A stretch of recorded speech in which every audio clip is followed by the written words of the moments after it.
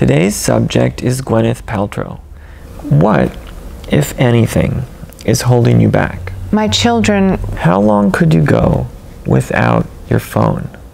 I've let go of any attachment to my children. What's the most incorrect thing you've ever heard about yourself? I have a yoga teacher named Eddie What don't the people have a right to know? That I have a stick up my ass. All the time. Hmm.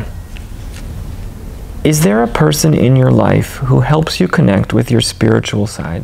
Estelle Getty. Well, that's all the time we have for today.